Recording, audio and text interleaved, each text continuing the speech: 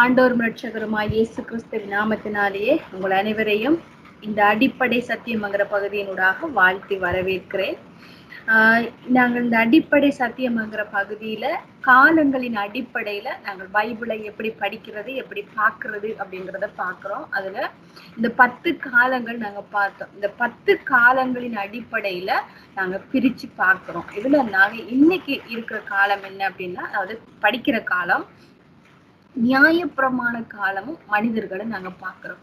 இந்த நியாயப்பிரமாண காலங்களும் மனிதர்களும்ங்கிற பகுதியில நியாயப்பிரமாணம் கொடுக்கப்பட்டதுக்கு பிறகு அந்த நியாயப்பிரமாணத்துல உள்ள பிரமாணத்தின்படி தான் அவங்க வாழணும். அதுதான் அவங்களுக்கு கொடுக்கப்பட்ட நியமம். ஆனா மனிதன் ஆதாம் நிமித்தமாக பாவியா இருக்கிறதுனால இந்த நியாயப்பிரமாணத்துல கொடுக்கப்பட்ட கட்டளை கற்பனை பிரமாணங்கள் நியமங்களின்படி அவனால வாழ முடியல.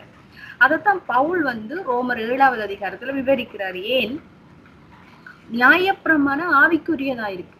அது நீதியா இருக்கு. அது நல்லதா இருக்கு. இப்படிப்பட்ட பிரமாணம் மனிதனால செய்ய முடியல. ஏனென்றா மனிதனுக்குள்ளே பாவம்ங்கிற ஒண்ணு வாசம் பண்ணுகிறதுனால அதன்படி அவனால வாழ முடியல. அதுக்காகத்தான் இந்த நியாயப்பிரமாணமே கொடுக்கப்பட்டது. ஏன்னா மனிதன் தன் நிலையை உணர வேணும் ஆதாம் சிருஷ்டிக்கப்படுகிற பொழுது இருந்த நிலைக்கும் ஆதாம் மீறுதலுக்கு உட்பட்டு பாவம் என்கிற நிலையை அடைந்ததுக்கு பிறகு இருக்கிற நிலைக்கு வித்தியாசம் இருக்கு.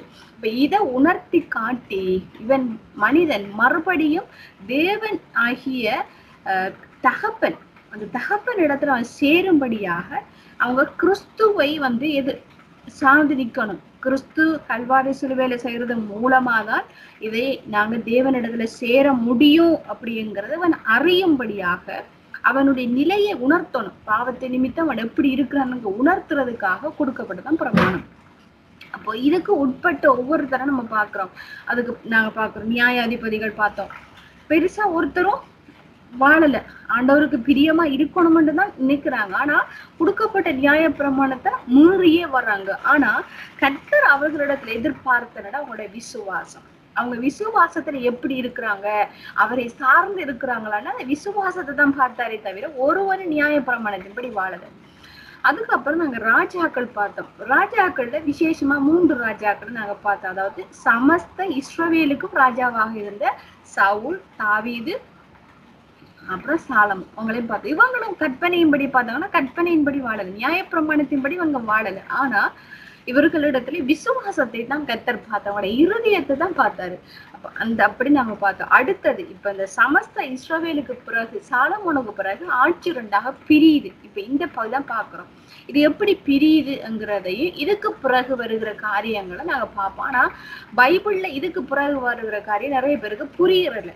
அதனால அதில் கொஞ்சம் கவனம் செலுத்துங்க. ஏன்னா பைபிள் நீங்க படிக்கும் போது இது வரைக்கும் எல்லாருக்கும் புரியும். சாலமோன் வரைக்கும் புரியும். அதுக்கு பிறகு பாத்தீங்கன்னா ரெண்டு ராஜாக்கள் ஒன்று நாளாகவும் ரெண்டு நாளாகவும். எங்களுக்கு இது படிச்சா குழப்பமா இருக்கு. இந்த ராஜா வந்தா அந்த ராஜா வந்தா யூதாவுக்கு ராஜாவானா இஸ்ரவேலுக்கு ராஜாவானா இப்படிலாம் நிறைய வரும். எங்களுக்கு சில நேரம் விளங்கி கொள்ள முடியாது. இப்ப இன்னைக்கும் நாங்கள் நாளைக்கு அடுத்த பகுதி படிக்க போற பகுதியையும் நீங்க கூர்மையாக கவனம் எடுத்து பார்த்தீங்கன்னு சொன்னா உங்களுக்கு புரியும். பைபிள்ல இருக்கிற அந்த விஷயங்கள் எல்லாம் எப்படி பார்க்கணும் என்று சொல்லி சரியான முறை நீங்க உள்வாங்க முடியும் அதுக்கான படிமுறை தான் நாளைக்கும் இன்றைக்கு நம்ம பார்க்க போறது. இப்ப இன்றைக்கு நம்ம வந்து இந்த ஆட்சி ரெண்டாக எப்படி பிரியுது என்று பார்க்கும் பொழுது ஜெரோபயாம் ரெகோபயாம் ஜெரோபயாம் என்று சொல்லப்படுகிறவங்க வந்து சாலமோனுடைய வேலைக்காரர். ரகோபயாம் என்று சொல்லப்படுகிறது சாலமோனுடைய மகள். சரியா? இந்த ஜெரோபயம் வந்து என்ன செய்யறாரு சொன்னா கர்த்தருடைய உடன் கர்த்தருடைய காரியங்களை செய்யறதுல ரொம்ப சாலமோனுடைய ஆட்சியில ரொம்ப விருப்பப்பட்ட ஒரு மனுஷன். அதாவது சாலமோன் வந்து எந்த வேலையை கொடுத்தாலும் அதை சரிபட செய்கிறவன் ஜெரோபயம்.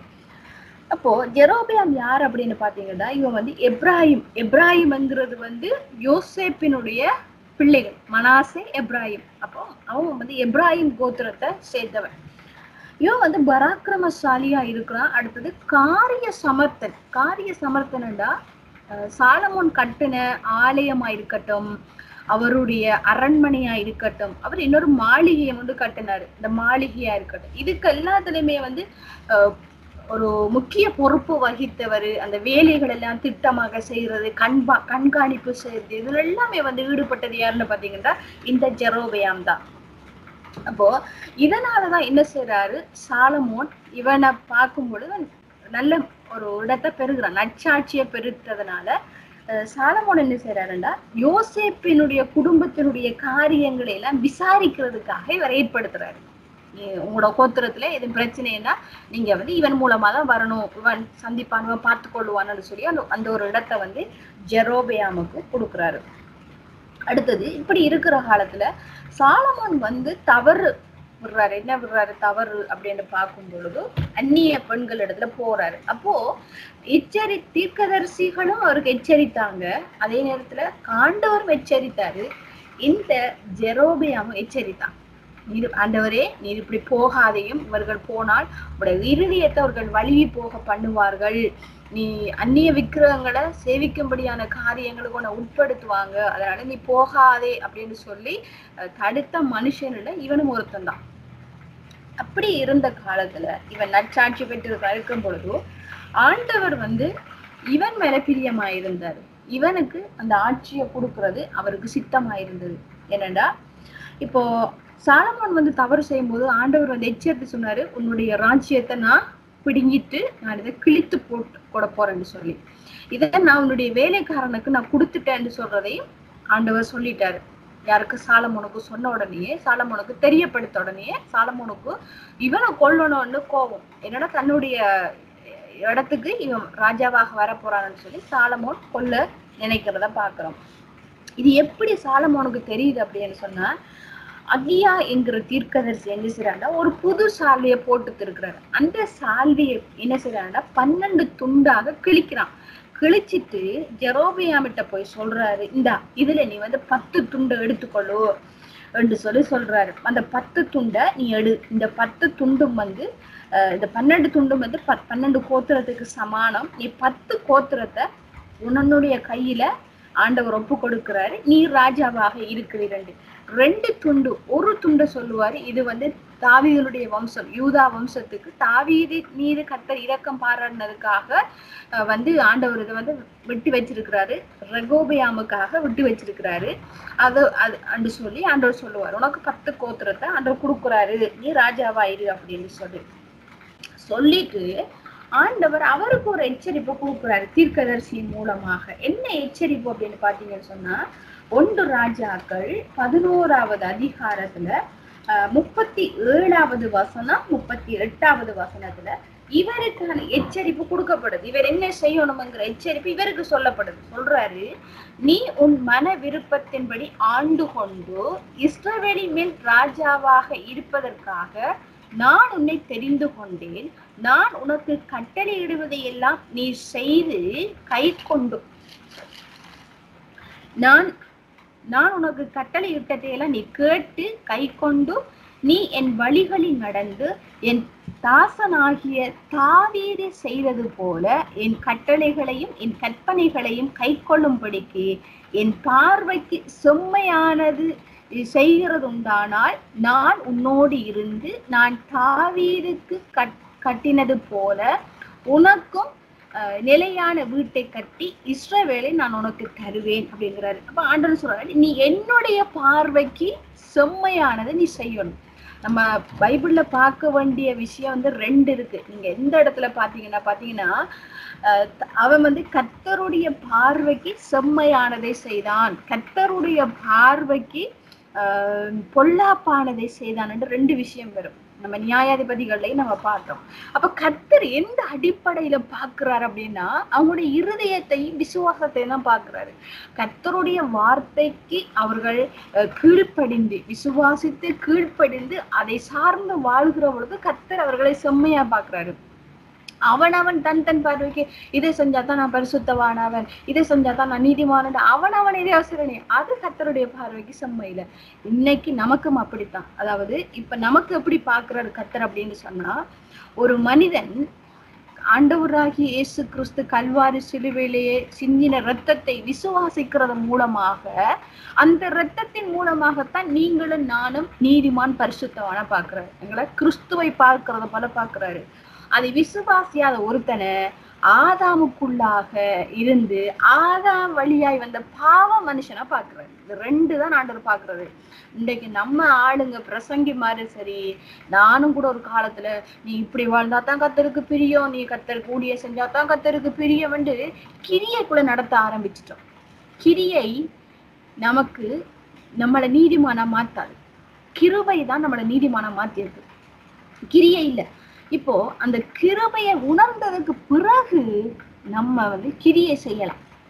கிரி கிருபையை உணர்ந்ததுக்கு பிறகு கிரியை செய்யலாம். ஆனா கிரியை செய்கிறதுனால நாங்க நீதிமான் பரிசுத்தவான் இதெல்லாம் கிடையாது. அதெல்லாம் எங்களோட மனுஷ பார்வை. கத்தர் அப்படி எங்களை பார்க்கல. அப்போ நாங்க எப்பவுமே வந்து ஒரு மனுஷனை கூட நாங்க பார்க்கும்போது கூட இந்த பார்வையில பார்க்கணும். அதுதான் கிறிஸ்துவின் சிந்தையிலிருந்து பார்க்கிற பார்வை. இப்போ ஒரு ஆளை குறிச்சு எங்கள்கிட்ட ஒரு தவறு வருது ஒரு அவதூறு வருது ஒரு குற்றச்சாட்டு வருதுன்னு நம்ம அவங்கள எப்படி பார்க்கிறோம்டா வெளித்தோட்டத்தை தான் பாக்குறோம் இயேசு கிறிஸ்த கூட சொன்னாரு நீங்கள் வந்து நீதியின்படி தீர்ப்பு செய்யாமல் தோற்றத்தின்படி தீர்ப்பு செய்றீங்க. ஒரு மனுஷனுடைய கிரியையை வைத்துக்கொண்டு நல்லவன் கெட்டவன் தீர்ப்பு செய்றீங்க. ஆனா ஆண்டவர் அப்படி பாக்குறவர் இல்ல. அவர் விசுவாசத்தை பார்க்கிறார். விசுவாசத்தை தான் அவர் பாக்குறாரு ஏன்னா இதுதான் நம்ம இந்த அடிப்படை சத்துல மிக மிக முக்கியமான ஒரு கருப்பொருளை பார்க்கிறோம். புறஜாதிகளாக இருந்தவர்களுக்கு கூட ஆண்டவருடைய கற்பனை என்ன கட்டளை என்ன எப்படி வாழணும் எப்படி வாழணும் ஒண்ணுமே தெரியாது. ஆனால் அவர்களையும் ஆண்டவர் தெரிந்து கொண்டார். எப்படி தெரிந்து கொண்டார்? விசுவாசத்தை. அதுக்கு உதாரணம் தான் ராஹாப்பை நாங்க பாக்குறோம் அடுத்தது பட்சேபால பாக்குறோம் அடுத்த பாக்குறோம் ஆஹ் ரூத்தை பாக்குறோம் இவங்கெல்லாம் வந்து புறஜாதிகள் தான். புற அதாவது ஆஹ் பட்சேபால புறஜாதி இல்ல. ஆஹ் ரூத்தும் வந்து புறஜாதி. அப்ப இவங்களெல்லாம் எப்படி தெரிந்தெடுத்தார் அப்படின்னு பாத்தீங்கன்னா விசுவாசம் தான். இப்ப விசுவாசத்தை தான் கத்தர் பாக்குறாரு நம்ம இடத்துலயும் அதை தான் பாக்குறாரு இப்போ. ஓகே அப்போ சொல்றாரு நீ இப்படி நடந்தியன்னு சொன்னா தாவீதுக்கு நான் கூட இருந்தது போல உன்னோடையும் நான் கூட இருப்பேன்றாரு இந்த வார்த்தை தீர்க்க தரிசனம் சொல்லப்பட்டதை அஹ், எப்படியோ சாலமோனுக்கு அறிவிக்கப்பட்ட இது சாலமோனை விட கொலை செய்ய தேடுற நேரத்துல இவன் ஓடி போய் என்ன செய்யறான்டா எகிப்துல தன்னை பாதுகாத்து கொள்ளும்படியாக அவர் ஓடி போயிருக்கிறான் சாலமோன் மறிச்சதுக்கு பிறகு சாலமோனுடைய மகனாகிய ரெகோபயாம் என்ன செய்றாரு அந்த இடத்துக்கு ராஜாவாக அபிஷேகம் பண்ணப்படுறது அபிஷேகம் பண்ணப்பட்டதுக்கு பிறகு ரெகோபியாம் வந்து இதை கேள்விப்படுறான் இப்படி வந்து சாலமோட மகன் ஆட்சிக்கு வந்துட்டாராம் அப்படின்னு சொல்லி கேள்விப்படுறான் நம்ம வந்து எருசலேமுக்கு திரும்பி வரான். எருசலேமுக்கு திரும்பி வந்ததுக்கு பிறகு என்ன செய்றாங்கன்னா இஸ்ரேல் மக்கள் எல்லாரும் கூடுறாங்க. ஒரு கூட்டம் கூடி என்ன செய்றாங்கன்னா ச- எல்லாம் சேர்ந்து போய் என்ன செய்றாங்கன்னா சாலமோனுடைய மகன் ரகோபியாமனிடத்துல போய் கேக்குறாங்க. அஹ் உங்களோட அப்பா ஆட்சி செஞ்ச காலத்துல வந்து எங்கள் மேல கடினமான பாரத்தை நுகத்தை எங்கள் மேல சுமத்தினாரு. எங்களுக்கு அது கஷ்டமா இருந்தது. நீ இப்ப ஆட்சிக்கு வந்துட்டு நீ எங்களை நீ எப்படிப்பா நீ எங்களை நடத்துவாய்ன்னு சொல்லி அவங்க கேக்குறாங்க. ஏன் கேக்குறாங்கன்னு சொன்னா சாலமோனுடைய காலத்துல வந்து சாலமோன் அவ்வளவு வரி வசூலித்தாராம்.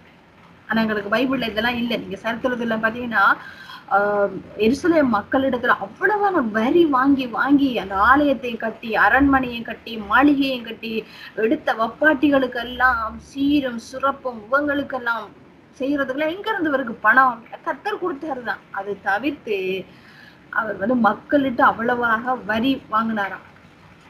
மக்கள்கிட்ட. இந்த ராஜஸ்திரி ஒருத்தி வந்தாளே சோபா நாட்டு ராஜஸ்திரி அவளையும் அவர் கல்யாணம் பண்ணி அவளுக்கும் பொண்ணு பொருள்னு சொல்லி அவ்வளவு காரியங்களும் அவர் கொடுத்துதான் அனுப்புனார் அவளை. அவள் போகும்போது அப்படி சாலமோனுடைய நாட்கள்ல அஹ், பொண்ணுதான் ஒரு விலை மதிப்பா வெள்ளிக்கு மதிப்பே கிடையாது. அப்படி கத்தர் அவங்களை நடத்தினாரு. அடுத்தது அவ்வளவு கொடுத்தாங்க. இவர் அவ்வளவு வாங்கினார். கேட்டே வாங்கினார் அப்படின்னு சொல்லி பாக்குறோம் சரித்திரத்துல அதனால அவங்க கேக்குறாங்க. உங்களோட அப்பா எங்கள் மேல பாரமான நுகத்தை வச்சு எங்களை சுமக்க வச்சாரு. நீ வந்தாவது ஆட்சிக்கு வந்து அதை கொஞ்சம் லெகுவாக்குவியா எங்களுக்குன்னு சொல்லி அவங்க கேக்குறாங்க. இவன் என்ன செய்யறான்னு சொன்னா எனக்கு மூன்று நாள் டைம் கொடுங்க. நான் வந்து ஆலோசனை பண்ணினதுக்கு அப்புறமா நான் உங்களுக்கு இதை பத்தி பேசுறேன் அப்படின்னு சொல்லிட்டான். இவன் என்ன செய்யறான் போயிட்டு வயது முதிர்ந்த மூப்பர்கள் இடத்துல போய் கேக்குறான். என்ன செய்யலாம்? இப்படிலாம் ஜனங்கள் வந்து கேட்குறாங்க அப்படின்னு அவங்க சொல்றாங்க. ஒரு நல்ல செய்தியா சொல்லும். அப்போ உனக்கு அவங்க பயபக்தியா இருப்பாங்க. உனக்கு எல்லாரும் கீழ்ப்படிவாங்க. நீ சொல்லும். லகுவாக்குறன்னு சொல்லி ஒரு நல்ல செய்தியை சொல்லணும்னு சொல்லி. அதுக்கப்புறம் இவன் என்ன செய்யறான் தன்னுடைய நண்பர்களான வாலிபர்களுடைய சேர்ந்து ஆலோசனை பண்றான். அவன்கிட்ட கேட்குறான் என்னடா செய்வோம்? இந்த ஜனங்கள்லாம் வந்து இப்படி கேட்குறாங்கன்னு அவங்க சொல்றாங்க டே நீ இந்த மாதிரிலாம் சொல்லாத. இந்த வயசு போன இந்த ஆக்கள் சொன்னாங்களே இதெல்லாம் நீ போய் சொல்லாத. நீ என்ன செய் என்று சொல்லி சொன்னா என் சுண்டு விரல் என் தகப்பனுடைய இடுப்பின் பருமனை பார்க்கிலும் அதிகமா இருக்குங்கிற வார்த்தையை சொல்லு அப்படின்னு. அதாவது சாலமனுடைய நாட்கள்ல நீங்க வந்து சுண்டு விரல்ல தூக்குனீங்களே அந்த பாரத்தை வந்து ஆஹ் சாரி என்னுடைய தகப்பனுடைய நாட்களை நீங்க வந்து இடுப்புல சுமந்தீங்களே சும அந்த சுமைய உங்களோட சுண்டு விரலை நீ நீங்க சுமக்கணும் அப்படின்னா என்னன்னா இன்னும் அதிகமான பாரத்தை தான் நான் உங்க மேல சுமத்துவேன் அப்படிங்கறத தான் வந்து தீர்மானம் பண்றான் அப்போ எல்லாரும் வந்து கூடி வந்ததுக்கு அப்புறம் கேக்குறாங்க. கேட்கும் போது நான் சொல்றான் இல்ல நான் வந்து தண்டனை இந்த இதை நான் வந்து குறைக்க மாட்டேன். எப்படி என்று சொன்னா என்னுடைய அப்பாட நாட்கள்ல இடுப்புல சுமந்ததை என்னுடைய உங்களோட கை சுண்டு விரல சுமக்கணும். அது மட்டும் இல்லாம நான் உங்களுடைய நுகத்தை பாரமாக்குவேன். என் தகப்பன் உங்களுடைய சவு சவுக்குடால உங்களை வந்து அவர் தண்டிச்சாரு.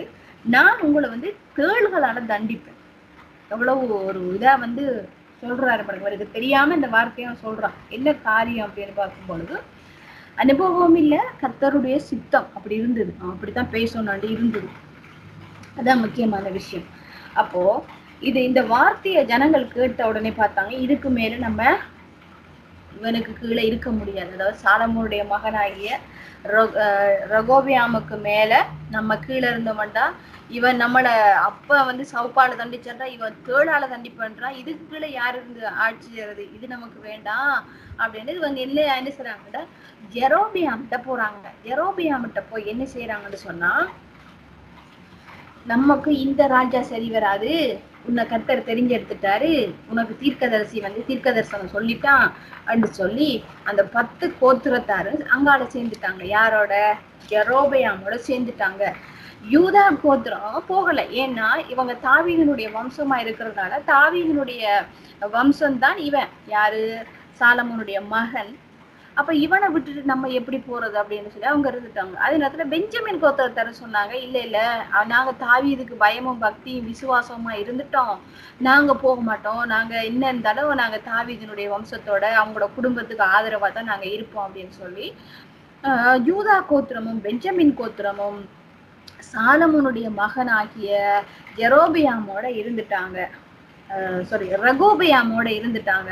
மத்த பத்து கோத்திரமும் ஜெரோபியாம் அதாவது சாலமோனுடைய மகன் வேலை இந்த வேலைக்காரனோட இவங்க போயிட்டாங்க. இதுல தான் இந்த ராஜ்யம் வந்து பிரியுது. வட ராஜ்யம் தென் ராஜ்யம் வந்து பிரியுது.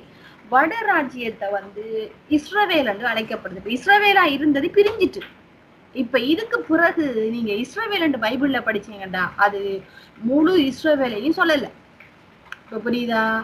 இது வரைக்கும் படிச்ச இஸ்ரவேலர் இஸ்ரவேலர் படிச்சீங்கடா எல்லாரையும் சேர்த்துதான் சொல்லப்படுது. இப்போ ரகோபயாம் ஜெரோபியாமினுடைய ஆட்சிக்கு பிறகு இஸ்ரவேல் அப்படின்னு சொன்னா முழு இஸ்ரவேலையும் சொல்லல. யார சொல்லுது? பத்து கோத்திரத்தை தான் சொல்லுது இஸ்ரவேலண்டு இவங்க இஸ்ரவேல் என்று அழைக்கப்படுறாங்க. அதே நேரத்துல இதுக்கு தலைநகரமாக சமாரியா என்கிற தலைநகரம் இருக்கு. தென் ராஜ்யம் வந்து யூதா என்று அழைக்கப்படுது. இதுக்கு வந்து தலைநகரம் எருசலேமா இருக்கு. இப்ப இவங்க என்ன செய்றாங்க? யூதா கோத்திரத்தாரும் பெஞ்சமின் கோத்திரத்தாரும் சேர்ந்து வாங்க நம்ம இந்த பத்து கோத்திரத்துக்கு விரோதமா போய் யுத்தம் பண்ணுவோம் அப்படின்னு சொல்லி இவங்க எல்லாரும் ரெடி பண்றாங்க. அப்படி ரெடி பண்ணும்போது சேமா என்கிற தீர்க்கதரிசி ஒருத்தன் வந்து சொல்றான் இல்ல இல்ல நீங்க எல்லாம் யுத்தத்துக்கு போக வேணாம். இது கத்தருடைய சித்தம். ஆண்டவர் சாலமோனுக்கு சொல்லிட்டாரு உன்னுடைய வழிகளை திருத்தி நீ வந்து திருந்தி கீழ்ப்படிந்து என்னுடைய சத்தத்தை கேட்டு நட. இல்லைன்னா அந்த ராட்சியை நான் ரெண்டா கிழிச்சு போட்டுருவேன்னு சொன்னாரு. அது நிறைவேறி இருக்கிறது. அதனால நீங்க யுத்தத்துக்கெல்லாம் போக வேணாம். நீங்க போங்க அப்படின்னு சொல்லி அனுப்புறாரு. இப்போ இவங்க எல்லாம் இதுக்கப்புறம் யுத்தம் பண்ணாம திரும்பி போயிட்டாங்க. அப்புறம் இஸ்ரவேல் மக்களுக்கு வந்து தேவாலயம் எது? எருசலேம்ல இருக்கு. இந்த எருசலேம் தேவாலயத்துக்கு இவங்க வரணும். இப்ப பிரிஞ்சிருச்சு ராட்சியம் வட ராட்சியம் அப்படி பிரிஞ்சிருச்சு. இப்ப ஆண்டவருடைய கட்டளைப்படி அதாவது நியாயப்பிரமாணத்தின்படி மூணு பண்டிகைகளை அவங்க கண்டிப்பா ஆசரிக்கணும். மூணு பண்டிகைக்கு கண்டிப்பா எருசலேம் ஆலயத்துக்கு வந்தே ஆகணும். என்ன பண்டிகை? பஸ்கா பண்டிகை கூடார பண்டிகை நாட்களின் பண்டிகை அதாவது ஓய்வு நாள் ஓய்வு நாள்னு சொல்லி ஏழு ஓய்வு நாள் நாற்பத்தொன்பது நாள். அந்த பெண்டகோஸ்தே நாள் பார்க்குறமே ஐம்பதாவது நாள். அதுக்கு முன்னாடி இருக்கிற அந்த நாற்பத்தொன்பது நாள் வரணும். ஏழு வாரம் ஏழு வாரம் ஏழு வாரம் விட அவங்க போகணும். இந்த மூணு பண்டிகைக்கும் கண்டிப்பாக எங்க இருந்தாலும் இஸ்ரவேலர்கள் இந்த இதுக்கு போகணும். உங்களுக்கு ஏழு பண்டிகை ஏழு பண்டிகையில மூன்று பண்டிகைக்கு கண்டிப்பா போகணும். மற்ற பண்டிகைகளை அவங்க தவிர்த்தாலே இந்த மூன்று பண்டிகைகளுக்கு எப்படியாவது எருசலேம் தேவாலயத்துக்கு போய் இவங்க பலி செலுத்தணும் கண்டிப்பாக நியாயப்பிரமாணத்துல கொடுக்கப்பட்ட பிரமாணம். அப்போ இவங்க எல்லாம் என்ன செய்றாங்க? இப்ப பிரிஞ்சாச்சு. இப்ப நம்ம இப்ப போகணும் திருப்பி ஆலயத்துக்கு போகணும். அப்போ இந்த ஜெரோபியாம் அதாவது சாலமோனுடைய வேலைக்காரன ஜெரோபியாம் என்ன செய்யறான்னு சொன்னா அவன் நினைக்கிறான் இவங்க எருசலேம் தேவாலயத்துக்கு போனாங்கன்னு சொன்னா அங்க யாராவது இவங்க மண்டையை கழுவி நீங்க எல்லாம் வந்து நம்ம சாலமோனுடைய மகனோட சேர்ந்துருங்க. நீங்க எப்படி பிரிஞ்சு போனீங்க? நம்ம எல்லாம் ஒரே கோத்திரம் அல்லவா? நம்ம எல்லாம் ஒரே குலம் அல்லவா? அப்படின்னு சொல்லி ஏதாவது பேசி இவங்களோட மனசை திருப்பிடுவாங்க அப்படின்னு சொல்லிட்டு இந்த ஜெரோபியாம் அதாவது சாலமோனுடைய வேலைக்காரனாகிய ஜெரோபியாம் என்ன செய்யறான் அப்படின்னு சொன்னா இந்த ஜனங்களை எருசலேமுக்கு போகாம தடுக்கணும். அதுக்காக என்ன செய்யறான்னா ரெண்டு கண்டுக்குட்டியை செஞ்சுட்டு வரான். தம்முஸ் எங்க பார்த்தேன் கண்டுக்குட்டி? எகிப்துல பார்த்தோம். எகிப்துல இருந்து அப்புறம் எங்க வந்துச்சு? அது வனாந்திரத்துல ஆரம் உண்டு பண்ணான். அதுக்கப்புறம் இவன் உண்டு பண்றான். இவன் என்ன செய்யறான் ரெண்டு கண்டுக்குட்டியை உண்டு பண்ணி தானங்கிற இடத்துலயும் பெத்தேலங்கிற இடத்துலயும் வைக்கிறான். ரெண்டு கண்டுக்குட்டியை வச்சு அதுக்கு பலிபிடத்தை கட்டிட்டு சொல்றான் இதோ நம்மளோட எகிப்துல இருந்து நடத்தி வந்த தேவர்கள் இவர்கள் தான் எப்படி கண்டுக்குட்டியை கொண்டு வந்துட்டான். கொண்டு வந்து வச்சுட்டு சொல்றான். இதுதான் நமக்கு தெய்வம். இதுதான் நம்மள கத்தர் வழி நடத்தி வரல. இதுதான் நம்மளை வழி நடத்தி வந்துச்சு. ஆகவே நீங்கள் செலுத்த வேண்டிய பலிகள் காணிக்கைகள் எது கொண்டாலும் இங்க கொண்டு வந்து நீங்க செலுத்தலாம். நீங்க எருசலேமுக்கு போக வேண்டிய அவசியம் இல்லை. இங்கேயே நீங்க செலுத்தலாம்ங்கிற காரியத்தை இவன் உண்டு பண்ணிட்டான். அது மட்டும் இல்லாம சாலமோன் அந்நிய தேவர்களுக்கு பலிபீடம் கட்டினதுனாலையும் தூபபீடம் கட்டி தூப ஆராதனை செய்ததுனால அவனுடைய ஆட்சி பிரிந்தது. இது ஜெரோபியாமுக்கு தெரியுமா? தெரியாதா? நல்லா தெரியும். ஆண்டவர் எச்சரித்தது தெரியும் ராஜ்யத்தை பிரிச்சது தெரியும் தீர்க்கதரிசி வந்து இவனுக்கு தீர்க்க தரிசனம் சொன்னது எல்லாமே எனக்கு தெரியும். ஆனால் இருதயத்திலே உணர்வில்லாதவர்கள் அவர்கள் பரிசுத்தாவி அவங்களுக்குள்ள இல்லாததுனால அவங்களுக்கு உணர்வே இல்லை. அடே சாலமோன் இந்த வேலையை செஞ்சதுனால தானே ஆட்சியை பிரிச்சு போட்டாரு ஆண்டவர் ஆட்சியை புடுங்கி போட்டாரு. அதே வேலையை நான் செஞ்சேன் எனக்கு என்ன தண்டனை கிடைக்கும்? அங்குற அந்த உணர்வு இல்லை. அதே காரியம் இன்னைக்கு நமக்கிட்டே இருக்கு. என்ன தெரியுமா? அடுத்தவங்க செஞ்சா அவங்களுக்கு பொங்கி எழும்பும். நாங்க செஞ்சா எங்களுக்கு பொங்காது. பார்த்திருக்கீங்களா? பாஸ்டர் சர்ச்சில் யாராவது ஒரு பிள்ளை தப்பு பண்ணிடுச்சுன்னா பொங்கி பொங்கி எழும்புவார். அதான் சர்ச்சில் பிரசங்கமாவே இருக்கும். அதே இதை பாஸ்டரோட மகள் செஞ்சுட்டுண்டா என்ன செய்யற இது சாத்தான் கொண்டு வர சோதனை. அவங்களுக்கு எக்ஸ்கியூஸ் மற்றவங்களுக்கு எக்ஸ்கியூஸே இல்லை. பார்த்துருக்கீங்களா? அதான். இப்ப இதுல என்ன வரனா பாஸ்டரை குறை சொல்ல வரல. அவங்களோட இருதயத்தின் நினைவுகளையும் அவங்களோட உணர்வுகளையும் பேசுறேன் நானு. அப்போ இங்க இவனுக்கு தெரியும் சாலமோன் இந்த தப்பு செஞ்சதுனாலதான் இது நடந்தது. இதே தப்பு நான் செய்யறேனே. எனக்கு என்ன தண்டனை வருமங்கிறத கூட என்ன செய்ய முடியல? உணர முடியல. அந்த இறுதி அவங்களுக்கு அன்னைக்கு கிடையாது. அதனாலதான் நம்ம படிக்கிறோம். இயேசு கிறிஸ்து சிலுவைக்கு வந்து மரிச்சு பரிசுத்தாவி ஊற்றப்படுறதுக்கு முன்னாடி இருக்கிற காலங்களும் நிலைகளும் வேறு. அதனால அவங்க வந்து இருதயத்தை கிழிச்சிப்பாங்க உவாசம் பண்ணுவாங்க ரட்டுடுத்துவாங்க இருந்த இடத்துல ஒப்பாரிடுவாங்க. உங்களை நோக்கி கூப்பிடுகிறோம் நோக்கி கூப்பிடுகிறோம். கத்தரை நோக்கி கூப்பிடுகிறது சிலுவைக்கு முன்பு. இப்ப கத்தருடைய ஆவியானவர் நமக்குள்ளே வந்து சம்பாசனை பண்ணுகிறது சிலுவைக்கு பிறகு. இந்த நிறைய பேர் ஜெபம் பண்ணும்போதெல்லாம் பரவாயில்ல. கத்தாவே உங்களை நோக்கி கூப்பிடுகிறோம். நோக்கி கூப்பிடுங்கள் கத்தரை நீங்க இன்னும் ரட்சிப்பின் சுவிசேஷத்தை அறியவில்லை. அதாவது நீங்கள்னு சொல்லுகிறது? இதை செய்கிற யாரா இருந்தாலும் சரிதான். இந்த ஃபேஸ்புக்கில் நான் பாருங்களேன் இந்த வாக்குத்தத்தம் போடுவாங்க. கத்தரை நோக்கி கூப்பிடுவோர் ஒருவரையும் ஆண்டவர் புறம்பே தள்ளுவதில்லை. நீங்க நோக்கி கூப்பிடுறீங்களா? இல்ல உங்களோட இருக்கிறவரோட சம்பாசனை பண்ணுகிறீங்களான்னு பாருங்க. சம்பாசனை பண்ணுகிறதுண்டா? ஒரு ஆள் கால் பண்ணா அவங்க பேச நீங்க பேச பேசுறாங்க இதுக்கு பெரு சம்பாஷணை. நோக்கி கூப்பிடுறதுடா ஒரு ஆள் வந்து சத்தமே போட மாட்டாரு. அப்படி ப்ளீஸ் பண்ணுங்களேன் ப்ளீஸ் பண்ண பிள்ளைங்க கேட்குமே அம்மா ப்ளீஸ் பண்ணுமா இது தாமா இது தாமா இன்னைக்கு மட்டும் தாமா இன்னைக்கு மட்டும் தாமா கேட்கலே. இதுதான் நோக்கி கூப்பிடுற நிலவரம். பாருங்க அப்ப எப்படி நீங்க இருக்கிறீங்க உங்களோட அஹ், வாழ்க்கை எப்படி இருக்குங்கிறத நீங்க தான் பரிசோதனை பண்ண நான் பண்ண மாட்டேன். நான் சொல்ல முடியாது. நீங்க தான் உங்களோட பரிசோதிக்கணும். நோக்கி கூப்பிடுற நிலை சிலுவைக்கு முன்பு. ஏன்னா இதான் நிலைமை. தெரியல. இப்ப அதே தவறு அவ செஞ்சான்னா அவனுக்கு அந்த தண்டனை கொடுக்கறத கண்ணால பாக்குறாங்க ஆனா தானும் அந்த தவறை செஞ்சா தனக்கு என்ன தண்டனை வரும்? அல்லது எப்படி இருக்கு? இதுக்கு முடிவு வரும்ங்கிறத கூட என்ன செய்ய முடியாத? உணர முடியாத ஒரு நிலைதான் பழைய ஏற்பாட்டு வாழ்க்கை. ஒன்று ராஜாக்கள் பன்னிரெண்டாவது அதிகாரம் முப்பது முப்பத்தொன்று சொல்லுகிறது இந்த காரியம் பாவமாயிட்டு எந்த காரியம்? கண்டுக்குட்டிய ஒன்றை வந்து பெத்தேலையும் ஒன்றை தானிலையும் வந்து ஸ்தாபிக்கிறான். இந்த காரியம் பாவமாயிட்டு ஜனங்கள் இந்த ஒரு கண்டுக்குட்டிக்காக தான் மட்டும் போவார்களாம் இந்த கண் இந்த ஆலயத்துக்கு போகக்கூடாது. எருசலேமுக்கு. அங்க போகக்கூடாது யாரும். இங்கதான் எல்லாரும் முன்னாடியே. இப்ப வடராஜ்யத்துல ரெண்டு இடத்துல வச்சுட்டான். ரெண்டு இடத்துல தானையும் பெத்தேலையும் வச்சுட்டான். போகணும். அங்கதான் போய் அவங்களோட காரியங்களாக அவங்க செஞ்சுட்டு வரணும். அது மட்டும் இல்லாம அவன் மேடைகளாகிய ஒரு கோவிலை கட்டி தேவியின் புத்திரராய் இராத ஜனத்தின் ஈனமானவர்களை ஆசாரியனாக்கினான். ஈனமானவர்கள் யாரு? தேவனால் தெரிந்து கொள்ளப்படாத வாழ்க்கை. தேவனால் தெரிந்து கொள்ளப்படாத ஜனங்கள். எப்படியும் வாழலாம். மறைவாக அப்படியும் வாழலாம். பரிசுத்த வேடையில வந்துடுது நாங்கள் பரிசுத்தவான்களோடு பேசுகிறவர்கள் தான் இந்த ஈனத்தனமானவர்கள். இவர்களையெல்லாம் ஏற்படுத்தி வைக்கிறான். வச்சு நீங்க தாண்டா ஆசாரியன். ஆசாரியன் அப்படிங்கிற அந்த அந்த சொல்லுக்கு அர்த்தப்பட வேண்டியவர்கள் யாருன்னு பாத்தீங்கன்னா லேவியின் புத்திரர்கள். அவர்கள் கத்தருக்கென்று பணிவிடை செய்யும்படியாக பிரித்தெடுக்கப்பட்டவர்கள். அவர்களுடைய உணவு முறை அவருடைய பழக்க வழக்கம் அவங்களுடைய குடியிருப்பு அவங்களுடைய இறுதியம் இந்த உலகத்தில் இருக்கிற எதையும் சார்ந்திருக்க கூட அவங்களுக்கு சுதந்திரமே கிடையாது தெரியுமா? இப்ப கானான் தேசத்துல பங்கு பிரிக்கும் போது லேவி கோத்திரத்துக்கு பங்கு இல்லை. ஏன் தெரியுமா? அவங்க ஒரு மாதிரி. இன்னத்துக்கு மாதிரின்னா அவர்கள் கத்தரி சார்ந்து தான் வாழணும். அதான் நாம தான் இப்ப இன்னைக்கு ஆசாரியர்களா இருக்கிறோம். நம்மளை வந்து ஆசாரியர்களை ராஜாக்களும் ஆக்கி இருக்கிறாரு நமக்கு இந்த பூமி நமக்கு சொந்தம் இல்லை. இந்த பூமியில நமக்கு சொத்து பத்து எதையுமே நம்ம சேர்த்து வைக்க கூடாது எங்களோட பேர்ல எதுவும் இருக்கக்கூடாது. அதான் சரியான வாழ்க்கை. எங்களோட பேர்ல எந்த விதமான இந்த பூமிக்குரிய ஒரு ப்ராப்பர்ட்டியும் இருக்கக்கூடாது. இருந்தோட நாங்க அதுக்கு அதை சார்ந்துதான் இருக்கோம். ஆனா நம்ம இன்னைக்கு சொல்ல முடியுமா? எத்தனை பேர்? என்னால கூட சொல்ல முடியுமானா அவ- கொஞ்சம் யோசிக்க வேண்டியதா இருக்கு. அப்படி இருக்கு. அதுதான் நம்ம கொடுக்கப்பட்ட வாழ்க்கை. இப்படி இப்படிப்பட்டவர்களை இல்லாதவர்களை எல்லாம் தெரிந்து கொண்டு நீங்க தாண்டா ஆசாரியன்.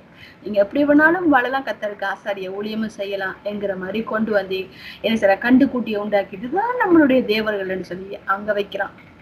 அதெல்லாம் கத்தருக்கு அருவறுப்பா இருக்கிற இதான் நம்ம பாக்குறோம் அடுத்ததாக இந்த யூதா இனங்கள் என்ன செய்யறாங்க இது அந்த பக்கம் நடக்குங்க. வடராஜ்யத்துல நடக்கிற காரியம்.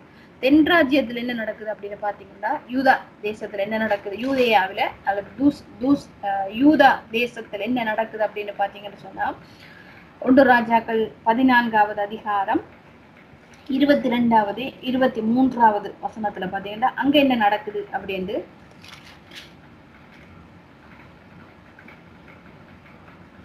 யூத ஜனங்கள் கத்தரின் பார்வைக்கு பொல்லாப்பானதை செய்து தாங்கள் செய்து வருகிற தங்களுடைய பாவங்களில் தங்கள் பிதாக்கள் செய்த எல்லாவற்றை பார்க்கலும் அவர்களும் அதிக எரிச்சல் மூட்டினார்கள். அவர்களும் உயர்ந்த சகல மேட்டின் மேலும் பச்சையான சகல மரத்தின் கீழும் மேடைகளையும் சிலைகளையும் தோப்பு விக்கிரகங்களையும் தங்களுக்கு உண்டாக்கினார்கள். இவங்களும் என்ன செய்யறாங்கன்னு பாத்தீங்கன்னா இவங்களுக்கு இப்ப சாலமோன் கட்டின தேவாலயம் இருக்கு பலிபீடம் இருக்கு எல்லாமே இருக்கு. ஆனாலும் என்ன நடக்குதுன்னு பாத்தீங்கன்னா இவர்களும் சோரம் போறார்கள் விக்கிரகங்களை வழிபடுறதுக்கு இவங்களோட இருதயங்களும் என்ன செய்யப்படுது? இழுப்புண்டு போகுது. ஆண்டவர் வந்து அவன் தவறு அதாவது விபச்சாரத்துல விழும் பொழுதோ இதெல்லாம் பெருசுபடுத்தல ஆண்டவர். ஆண்டவருக்கு எரிச்சல் மூட்டுன ஒரு காரியம் என்னன்னா விக்கிரக ஆராதனை. இதுதான் அந்த முதலாம் கட்டளை. ரெண்டாம் கட்டளை வந்து கொடுக்கப்பட்டது இதுதான். இதை செய்கிறாங்க அடுத்தது இருபத்தி அஞ்சு இருபத்தி ஆறுல பாருங்க. ரகோபயாம் ராஜ்யபாரம் பண்ணி ஐந்தாம் வருஷத்தில் எகிப்தின் ராஜாவாகிய சீஹாக் எருசலேமுக்கு விரோதமாய் வந்து கத்தருடைய ஆலயத்தின் பொக்கிஷங்களையும் ராஜாவினுடைய அரண்மனை பொக்கிஷங்களையும் சாலமுன் செய்வித்த பொன் பரிசில்களை ஆகிய சகலத்தை எடுத்து கொண்டு போய்விட்டான். இப்போ எருசலேமினுடைய மகிமை போயிடுச்சு எப்படி? அதை அந்த ஆலயத்துக்குள்ள வந்து இஸ்ரவேலி எல்லாரும் போக முடியாது. லேவி கோத்திரத்தா மட்டும்தான் அதுக்குள்ள போகணும். இப்ப புறஜாதியை சேர்ந்த விக்கிர ஆராதனைக்குரியவன்லாம் உள்ள போயிட்டு உள்ள உள்ள சாமான் தூக்கிட்டு போயிட்டான். ஏன் இது அப்படின்னு பார்க்கும் பொழுது உபாகமம் இருபத்தி எட்டாவது அதிகாரம் தான் விட என்ன விட என்னுடைய நியமங்கள் கட்டளைகள் கற்பனைகள் இவைகளுக்கு எல்லாம் நீங்க கீழ்ப்படிந்து நடந்தீங்கன்னு சொன்னா நியாயப்பிரமாணத்துல கொடுக்கப்பட்ட அறுநூற்றி பதிமூணு பிரமாணத்தின்படி நீங்க வாழ்ந்தீங்கன்னு சொன்னா உங்களுக்கு ஆசிர்வாதம் செழிப்பு பொண்ணு வெள்ளி எல்லாம் பொங்கும் தேசத்துல. இதெல்லாம் நீங்க மீறினீங்கன்னு சொன்னா அந்நியம் வருமா நோய் வரும் கொள்ள நோய் வரும் என்னெல்லாம் இன்னைக்கு உலகத்துலாம் நீங்க விரிச்சு கண்ணோக்கி பாக்குறீங்களோ அத்தனையும் வரும். இதாங்க சொல்லப்படுறது எத்தனை விதமான சாபங்கள்? கிட்டத்தட்ட நூத்தி பதினோரு விதமான கா நூத்தி பதினாறு விதமான கேடுகளும் சாபங்களும் அங்க எழுதப்பட்டிருக்கு. அத்தனையும் வரும்னு சொன்னாரு அது வருது அதை சந்திக்கிறாங்க. இப்போ இதுதான் பழி ஏற்பாட்டு வாழ்க்கை. நியாயப்பிரமாணத்தை மீறினா தண்டனை. எது தண்டிக்குது? கத்தர் தண்டிக்கல. பிரமாணம் தண்டிக்குது. பிரமாணம் அதுக்கான வெளியே செய்யுது. பிரமாணம் என்று சொன்னா இப்ப அலறி வித வந்து விஷம். அது சாப்பிட்டா செத்து போவோம். ஆனா முந்திரி பருப்பு அல்லது கஜு அல்லது கச்சா இதெல்லாம் சாப்பிட்டாலும் நம்ம செத்து போக மாட்டோம். ஏன்னா அதான் அதனுடைய பிரமாணம். அது விதி. அதை மாத்த முடியாது. அதாவது அரளி விதையில விஷயம் இருக்குன்னா அதுதான். அதை மாத்தவே முடியாது. அதே போலதான். நியாய பிரமாணத்தின்படி நீ வாழ்ந்தா அதுக்கான நன்மை. மீறினா அதுக்கான தீமை அதுக்கான சாபம் வரும் இதுதான் பழைய ஏற்பாட்டு வாழ்க்கை. இப்படியே நடக்கும். அவங்க யாரெல்லாம் கீழ்ப்படுகிறாங்களோ கத்தருக்கு அவங்க நாளத்துல ஆட்சியம் நல்லா இருக்கும். எந்த விதமான சண்டை இருக்காது யுத்தம் இருக்காது தேசம் செழிப்பா இருக்கும் நல்லா சாப்பிடுவாங்க நல்லா தூங்குவாங்க அப்படி இருப்பாங்க. எவன்லாம் இந்த மாதிரி விக்கிரத்துக்கு கிட்ட போறானோ மேடை கட்டுறானோ ஆராதனை செய்யறானோ தூபம் கட்டுறானோ அப்பெல்லாம் இந்த மாதிரியான இடி முழக்கங்களும் எண்ணி பார்க்காதவத அதாவது ஆஹ் ஆபத்துக்கெல்லாம் அவனுக்கு வரும். அப்போ என்ன செய்வாங்க தெரியுமா? யாராவது ஒரு தீர்க்கதரிசியை கத்தர் எழுப்புவார். அவன் போய் சொல்லுவான் இதுக்கெல்லாம் என்ன காரணம் தெரியுமா? இந்த இப்படி வந்து செத்து போகுதே தேசத்துல பஞ்சம் நடக்குதே அவன் நம்மளை கொள்ளையடிச்சிட்டு போறானே நம்மளோட பெண்கள் எல்லாம் சிறை பிடிச்ச போறானே நம்மளோட பெண்கள் எல்லாம் அந்நியம் கொண்டு போறானே என்ன காரணம் தெரியுமா? நீங்க நியாயப்பிரமாணத்தை மீறிட்டீங்கன்னு சொல்றாங்க. அப்ப இவங்க என்ன செய்வாங்க தெரியுமா? ஐயோ நாங்கள் கத்தருக்கு விரோதமா பாவம் செய்து விட்ட மட்டும் அடிச்சு புரண்டு அப்புறம் என்ன செய்வாங்கன்னா மனம் திரும்புவாங்க. அப்புறம் ஒரு ஒரு ஒரு தலைமுறைக்கு இருப்பாங்க. அவங்க அந்த அந்த சூடு இருக்கும் ரணம் அந்த காயம் இருக்குல்ல அதனால இருப்பாங்க அதுக்கப்புறம் அடுத்த தலைமுறையை பாத்தீங்கன்னா அவ அவன் விக்கிற உண்டு ஒண்ணுவான் தோப்பு உண்டு பண்ணுவான் இதே வேலையை செய்வான் திருப்பி ஆண்டு தண்டனை கொடுப்பாரு. இதுவே நடக்கும். இதுதான் பழைய ஏற்பாட்டு வாழ்க்கை. அப்போ இப்ப ராஜ்யம் பிரிஞ்சதை நம்ம வந்து பார்த்துட்டோம். ஜெரோபியா ரகோபியாமருடைய காலத்துல பிரிஞ்சிருச்சு. இப்ப இஸ்ரோவேல் தனியா பிரிஞ்சிருச்சு. யூதா இஸ்ரவேலையே பத்து கோத்திரம் தனியா போய் அது இஸ்ரவேலாகவும் ரெண்டு கோத்திரம் சேர்ந்து யூதா தேசத்து ஜனமாக அல்லது அவர்கள் தான் பிற்காலங்களில் யூதர்கள் அப்படின்னு சொல்லி சொல்லப்படுறாங்க. சரியா? இதுதான் நம்ம பார்க்க வேண்டியது. மற்ற விஷயங்கள்லாம் ஓரளவுக்கு ராஜாக்கள் புஸ்தகம் படிச்சுட்டு வாங்க. மீதி காரியம் சொல்லும் பொழுது கொஞ்சம் கற்றுக்கொள்ளுங்க. அடுத்த பகுதி வந்து ஈஸியா புரிஞ்சிக்க முடியாது. கண்டிப்பா நோட்ஸ் எடுக்கணும். ரெக்கார்டை வந்து கேட்டு கேட்டு கேட்டு அடுத்ததுல நோட்ஸ் எடுத்துக்கொள்ளுங்க. அப்படி நோட்ஸை வச்சு படிச்சீங்கன்னா உங்களுக்கு ஈஸியா மற்ற காரியங்கள்லாம் புரிந்து கொள்ள முடியும். இதுக்கு பிறகு இருக்கிற நாளைக்கு எடுக்கிற பாடத்தை சொல்கிறேன்